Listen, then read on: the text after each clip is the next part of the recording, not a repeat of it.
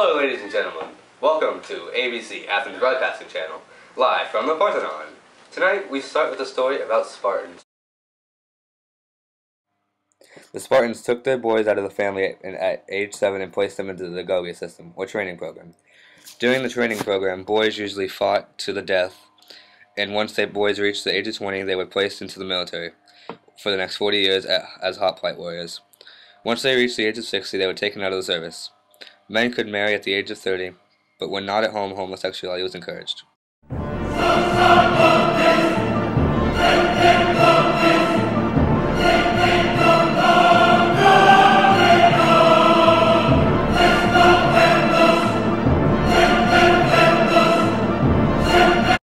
Now over to Camicus and Sparta interviewing Leonidas the Spartan.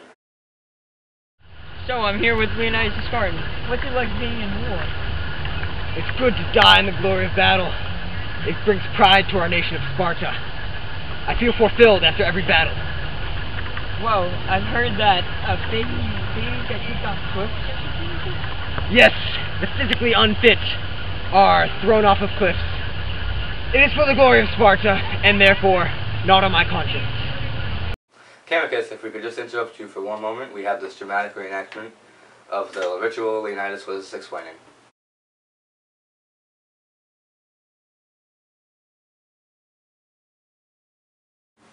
Now, back to you, Camicus. This is blasphemy. This is madness. Madness. This, this, Sparta! Um, we seem to be having some technical difficulties. Let's go back to Cam. Cam, are you alright?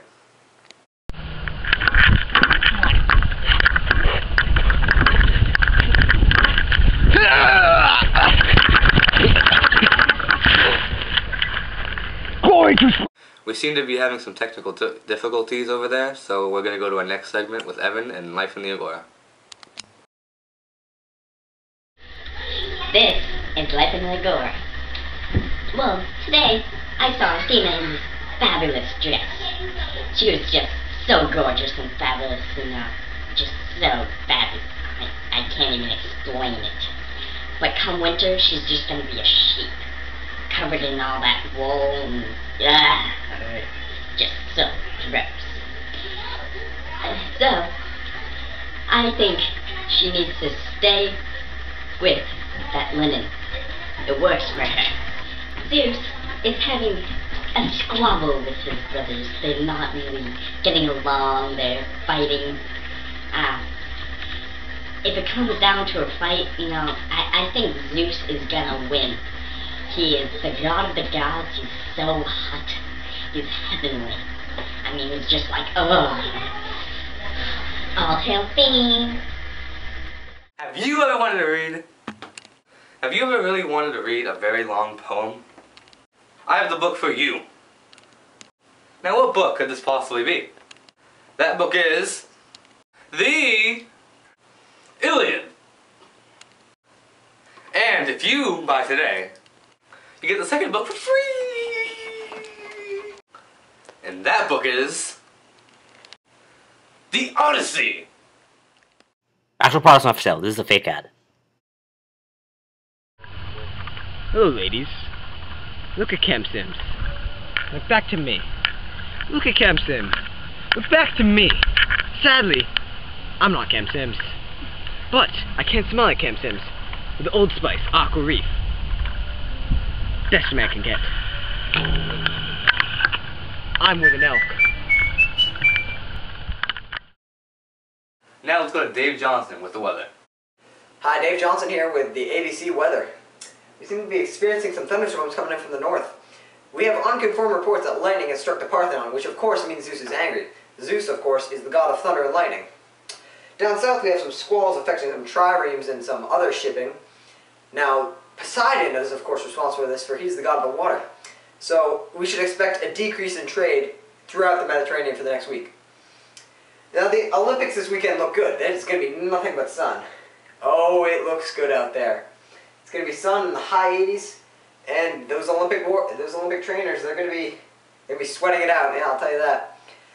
Um, Helios is set to depart from our skyline around 7:30 tonight. He is, of course, the god of the sun, who flies in the golden chariot across the sky. Of course, you all know that. And he is expected to return out of the east uh, around 6.30 tomorrow morning. You stay classy, Athens. Thanks, Dave. Let's go to Cave Johnson with the traffic report. Welcome to ABC's Live Traffic Report. I'm Cave Johnson. Today we start with Athens' most common transportation route, the ship.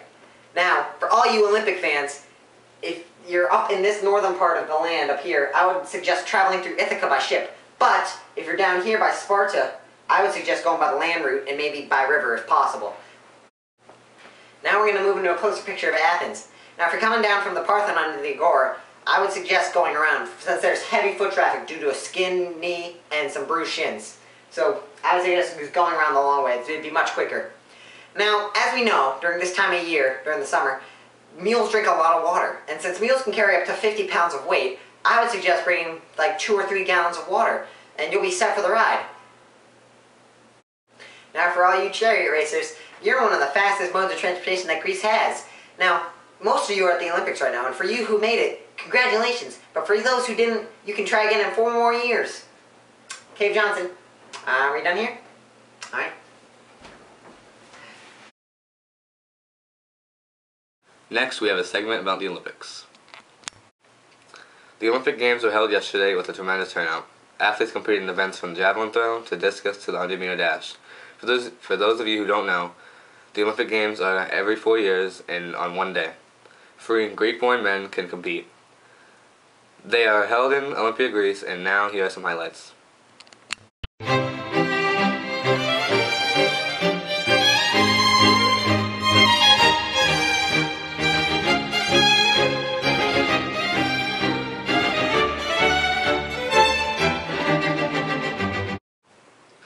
To Gutamius with news around the Mediterranean.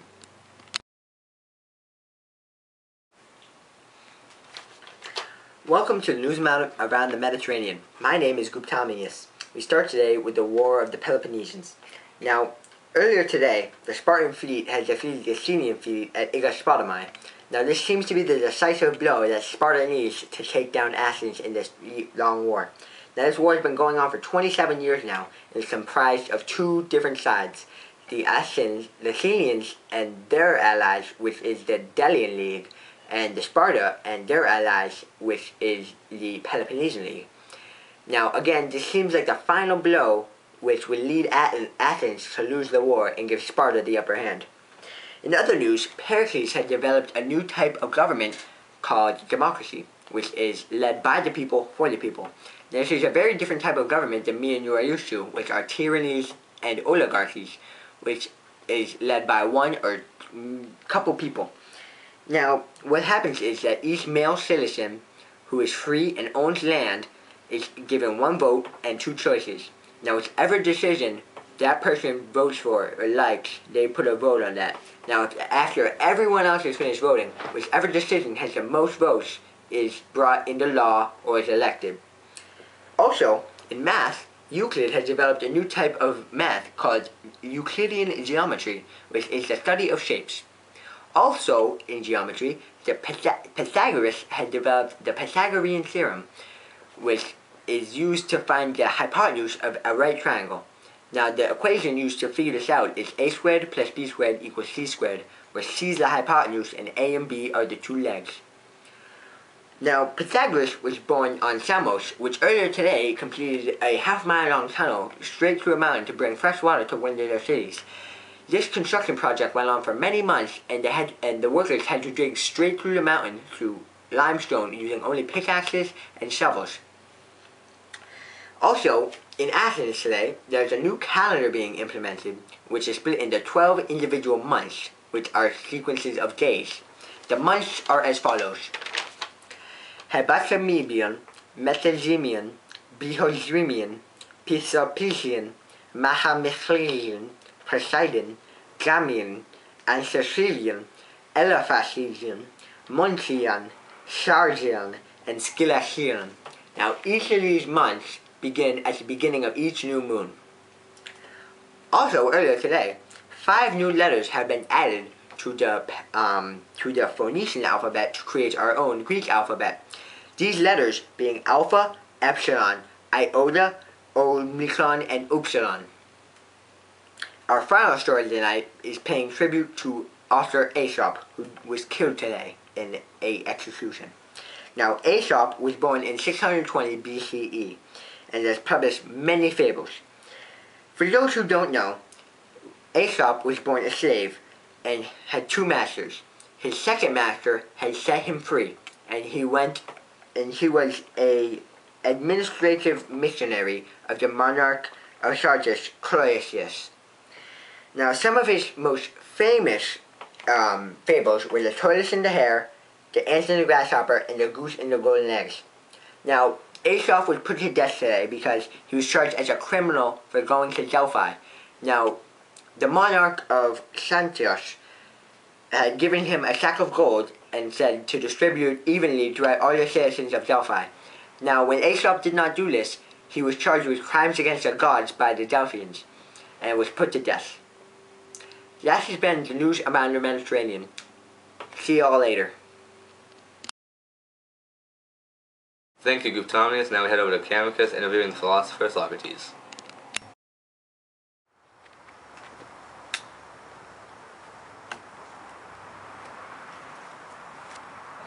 Hello. Hello, how, how are you? Good. How are you? I'm good, good. Good. Hello, welcome. I am here with Socrates, one of the three Greek philosophers. And uh, I have something from my intern, time traveling intern. Can you come bring that contraption over here? What, what, What, what is this? Hmm? Oh. Uh, yeah, go, go. Get out of here. Go. That is a very weird man. Yes, uh, sometimes you can be a pain. So, what about that paradox? Oh yes. Well, these are my Socratic paradoxes.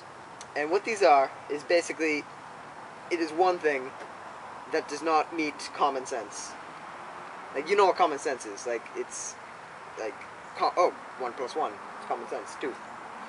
Well, my Socratic paradox is like for instance, no one desires evil. But when everyone does have a little bit of evil in them, don't we desire it? I mean, it is impossible not to desire evil, but yet no one desires it. I mean, do, do you understand what I'm saying? Uh, no. Can you tell me more? Okay. Um, for instance, I I have a saying. Uh, I know that I know nothing. Now, the fact that I know that I know nothing interferes with the fact that I know nothing, which is common sense. So this cannot be possible, that I know nothing, but I know that I know that. So, do you understand now? Yes. Yes. Good. And I bet most of you are wondering how I am still alive. But yes, I survived from that pit of death that Leonidas had kicked me into, unfortunately. Uh, sometimes he just gets very angry and loses his mind, but I'm I am all right. I'm fine. It, it looks like you've made a full recovery, so that is good. Yes, thank you. So uh, I've heard, but I've also heard that you are gonna die soon. Oh yes, this is this is a quite funny story. Um, Athens has put me on trial recently um, for apparently undermining Athenian democracy and the use of Athens. So they they put me to death. So um, actually they, they just they just made me drink hemlock before this interview. You know I I, can, I cannot feel my legs right now. It is funny. Oh, Yes. that is that is very ironic. It is. Uh, so, uh, I know that you don't write down your philosophical philosophical work. How come you don't do so? Well, it's my belief that when I teach my students my philosophy, um, is that they will teach their students, and then their tutors will teach theirs, and therefore there won't be no need for me to write down my philosophy because my students will bring it down through generation after generation. Yes. Yes. Okay. That is. That might be more useful. Yes, I mean, it, writing does have some, you know, pros, but I believe that teaching my students will be they will remember it better than just reading it. So, what about your uh, Socratic method? Oh, my Socratic method. My Socratic method is a way of problem solving. For instance, if we have a big problem, what we will do is we will break it into smaller, easier to solve problems. So when we solve those smaller problems, we unlock a part of the bigger problem. And then when we solve each of those smaller problems, the bigger problem will already be solved.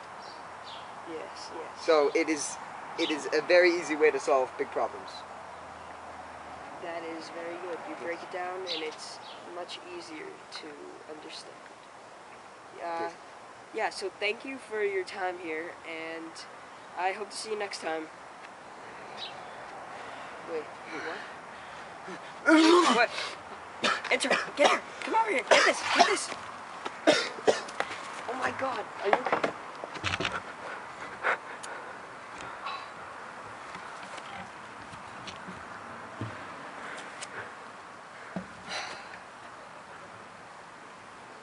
Don't, don't touch her. Thank you for tuning in, everybody. We'll see you next time here on ABC.